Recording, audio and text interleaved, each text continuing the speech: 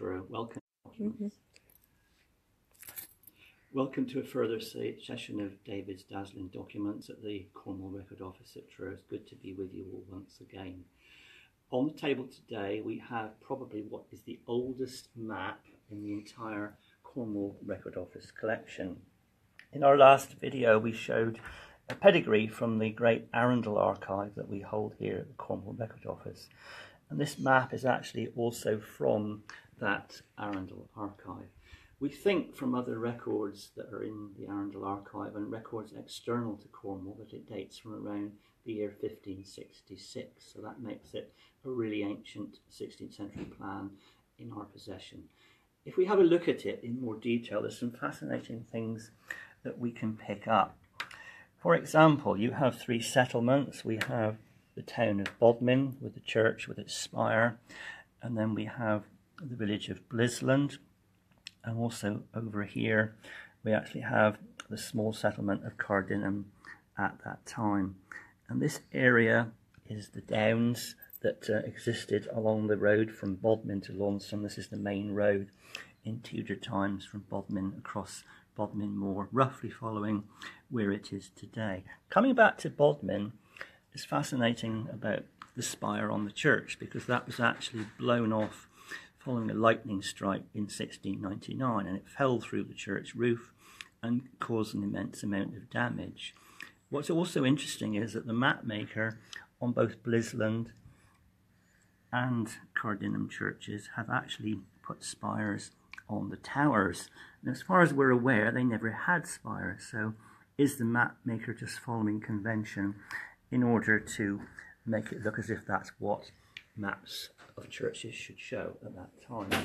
But also, you have a wide area through the centre of this plan. And we think this was a drover's road for driving animals and sheep that was significantly wider than the normal roads that there were at the time. We also have a gallows shown at this um, end of the road here, and there's no size of scale or date um, in the like we would have on an ordnance survey map. The, the gates of the fields are shown extraordinarily large as they lead into the into the settlements, and also here we have the manor house of Devioch, uh, the Courtenay's manor house of Devioch in Cardinham, and Devioch Wood is also shown. So for instance, a mile might say be this area over here, and the same distance on the plan over here might in fact be three or four miles. So there's no sense of um, scale whatsoever. It's interesting that the map has an oval shape.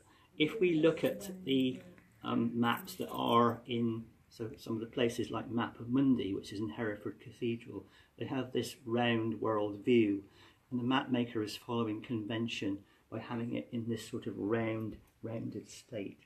A lot can be learned from just studying um, what these areas were like geographically, but a, little word of caution don't take the detail on them as being necessarily 100% accurate.